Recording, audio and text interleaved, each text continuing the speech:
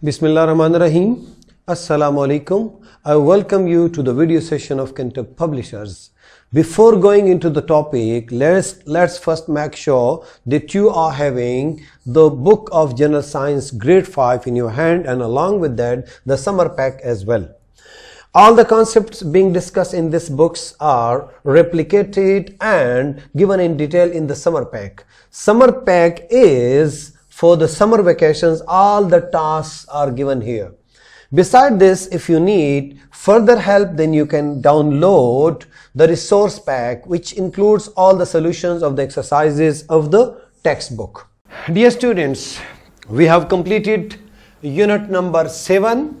और ये क्या था नाम इसका properties and behaviour of light. What have you seen in this chapter? Today we will discuss. Going towards exercise, I'm just supporting in those uh, MCQs which are not very much clear, right? ताकि आपको मसला ना हो otherwise अगर आप मेरे सामने बैठे होते तो मैं आपको कभी ना बताता और ये पूरा का पूरा एक्सरसाइज तुम लोगों ने हल करना था लेकिन अब चूँकि मैं दूर हूँ आप लोग बहुत दूर बैठे हैं so I am helping you moon is luminous object है ट्रांसपेरेंट है ऑब्जेक्ट है नॉन ल्यूमिनस ऑब्जेक्ट है या ट्रांसलूसेंट है। तो क्या है? आपने पढ़ा था लूमिनस और नॉन लूमिनस ये नॉन ल्यूमिनस में पढ़ रहा था if you remember number two the earliest people use to track time from the length of shadow this is known as क्या? ये आपके इंटरेस्टिंग इंफॉर्मेशन में है, अगर आपने बुक रीड किया है, मैंने कहा था टेक्स्ट तुम लोगों ने रीड करना है। Shadow clock no sun clock yes sun clock कहते थे, पुराने जमाने के लोग, क्योंकि सन की पोजीशन से शेडो से वो देखते थे, लेकिन उसका नाम क्या था? That was sun clock right light clock नहीं है लोनर क्लॉक नहीं है। MCQ number three when the earth throws its shadow on moon its cause. जब अर्थ का शेडो मून पे आ जाए और मून कम नज़र आए तो ये क्या होगा? सन एक्लिप्स होगा, मून एक्लिप्स होगा, शेडो एक्लिप्स होगा या earth eclipse of course moon eclipse या lunar eclipse number four which one of the following state comes before new moon new moon से पहले क्या आता है? एट फेजेज है, मैं नहीं बताऊँगा you have to find it out अगर भूल गए हो तो टेक्स्ट की तरफ़ जाओ, दोबारा देख लो। MCQ number 5. Which of the following is luminous object? Moon, tree, firefly, book. ये भी आप लोगों ने खुद बताना है इजी है। एग्ज़ाम्पल ऑफ़ ट्रांसपेरेंट ट्रांसपेरेंट में प्यारे बच्चों बटर पेपर नहीं है। प्लास्टिक भी हो सकता है और ग्लास भी हो सकता है। नोटबुक तो बिल्कुल ओपेक होता है।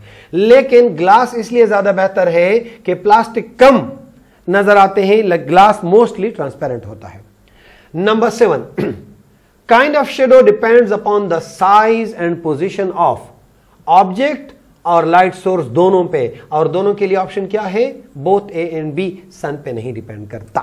MCQ number eight diamond is transparent translucent opaque या लुमिनस ये मैं आपको होमवर्क देता हूँ। You sort it out easy है, बहुत आसान है। और आप गूगल भी कर सकते हो, अपने टीचर से भी पूछ सकते हो, और अगर हीरे के बारे में you ask anyone anyone can tell you right number nine shadow are form because light always travel in straight line या अपोजिट लाइन या कन्वर्जेंट लाइन या जिगजैग ये तो बहुत आसान है टॉपिक का नाम है।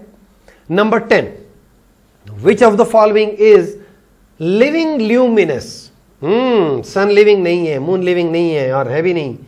फायरफ्लाई बर्निंग कैंडल इशारा काफ़ी है, अकलमंद के लिए, तुम सब अकलमंद हो ना? Okay coming toward short question my dear students define luminous and non luminous objects बता दो, जिसके अपने अंदर एनर्जी होती है its own energy and can glow and can bright is called as luminous all those which do not have their own energy for throwing on other objects is called non-luminous objects. How are eclipse formed मैंने आपको बताया था। तीन चीज़ें याद रखें। Sun moon और earth uh, uh, इनकी पोजीशन से एक्लिप्सिस बनती हैं। कैसे बनती हैं? You you can define what is the reason behind shadow formation बहुत आसान है। Light travels in straight line और उसके सामने से ब्लॉक हो जाता है तो शेडो बन जाता है। Name the reason behind the size of the shadow reason भी आप एमसीक्यूज भी देख लिया आपने और टॉपिक में भी देखा था। How does light travel very easy straight line good six why does length and size of shadow differ at different times मैंने आपको होमवर्क दिया था कि मॉर्निंग में भी देख लो नून में भी देख लो और इवनिंग में भी देख लो।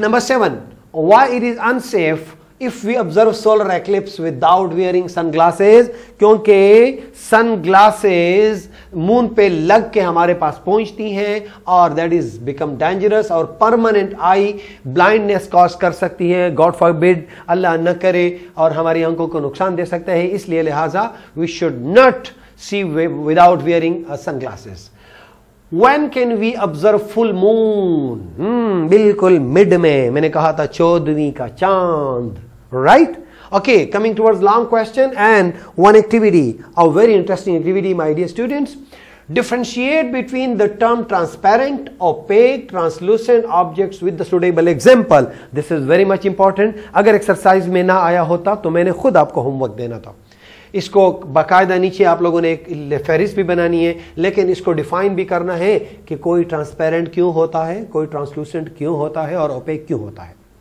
describe an experiment to show that light travels in straight line ये भी मैंने आपको होमवर्क दिया था। दोबारा से एक्सपेरिमेंट बना दो। कर लो। कार्ड्स रख लो। तीन कार्ड्स देखो, इसके अंदर होल्स कर लो। और पहले सीधा होल में और उसके बाद वो चेंज कर लो तो आपको पता चल जाएगा कि light travels in straight line how are solar and लोलर eclipse formed ये भी आप लोगों ने, बल्कि ज़्यादा बेहतर होगा, दोनों का एक चार्ट, एक एक चार्ट बना दो and present it your light in your class class में लगा दो और उसके ऊपर लिख दो the brilliant student of the class explain the effect and of location of light shows and shadow form यह पढ़ चुके हो डिटेल से। यानी लोकेशन बहुत डिपेंड करता है। Describe pin hole camera and its working principle ये भी डिटेल से पढ़ा आप लोगों ने। dry level, different phases of moon eight phases of moon starting from the first one reaching to the last one you will be doing my dear students. Number d the last one. Identified the transparent translucent and opaque object from the following. Glass kya hai? Jo jis category mein fall kar raha hai likh do. Cellphone क्या है, paper क्या है, would क्या है, gold क्या है, cement क्या है, मेटल क्या है कलर्ड प्लास्टिक क्या है, diamond tinted windows tint windows जो हम करते हैं, मैंने आपको बताया था, frosted glass sun glasses wax paper, fingers and amber, ये सारी चीज़ें बता दो, लेकिन वन मोर होमवर्क आज घर में बैठ के किचन का चक्कर लगा के बता दो कि कौन कौन सी मामा के साथ डिस्कस करो, ये ट्रांसपेरेंट है और बता दो कि ये ट्रांसलूसेंट है और मामा को ये भी बता दो कि ये ओपेक है। करेंगे मेरे बच्चे इंशाला so best of luck my dear students see you in the next chapter Allah Hafiz.